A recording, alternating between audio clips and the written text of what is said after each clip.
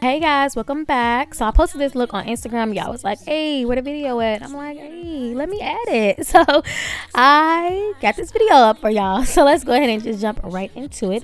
So I'm taking the Too Faced Sweet Peach palette and I'm taking the shade Paris on a Sedona Lace brush and I'm just popping that color in my crease. I already have my lids primed with the Wet n Wild eye primer. So yeah, and now I'm just taking the color Nectar from that same palette with that same brush and just putting that color on my lid.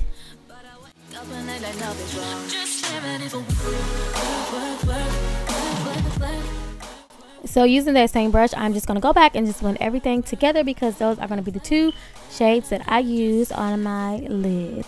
So moving on to brows, I'm using the Benefit My Precise precise precise brow pencil in the shade number four and I'm just going to be filling in my eyebrows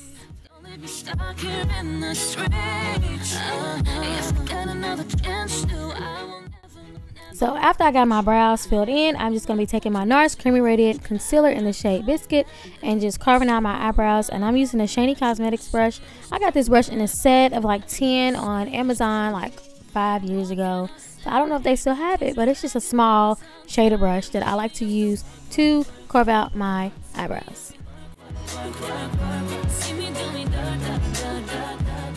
So moving on to lashes, I'm taking the Lily lashes in the style Goddess and just popping them right on my eyelids.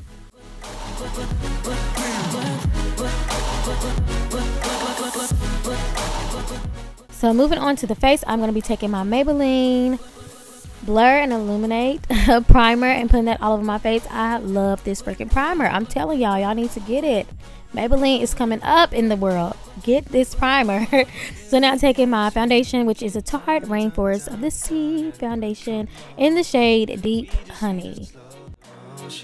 Don't give that away no one long distance I need you when I see potential I just gotta see so now that I have my foundation on, I'm just taking my NARS Creamy Radiant Concealer in the shade Biscuit again and just putting that underneath my eyes and down the bridge of my nose to highlight my face.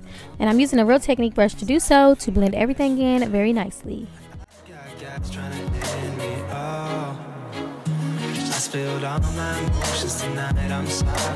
Rolling, rolling, rolling, rolling, How many more shots you're rolling so now that I have that blended in nicely, I'm going to be taking the Laura Mercier translucent powder and just setting underneath my eyes, down the bridge of my nose. And I'm going to be taking my MAC Mineralized Skin Finish to just go over top of that and set everything else together.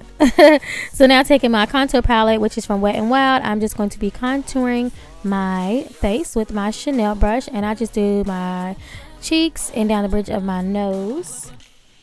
And for highlight today, I'm using the Jaclyn Hill face palette.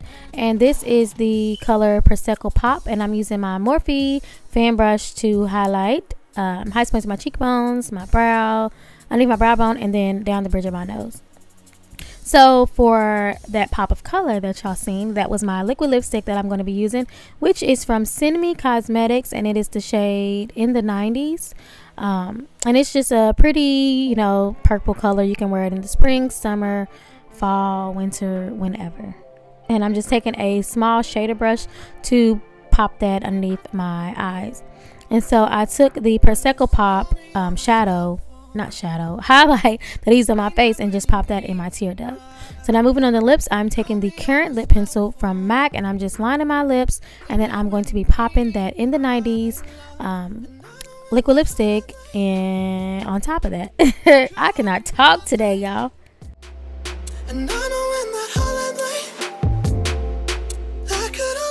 and guys this is the final look. I hope y'all enjoyed this video. Don't forget to subscribe to my family. Comment down below what y'all want to see from me in the future.